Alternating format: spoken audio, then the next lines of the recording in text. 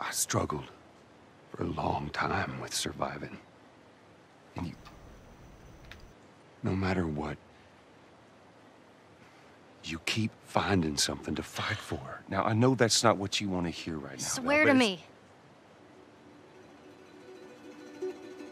Swear to me that everything that you said about the Fireflies is true. Let me go. I swear.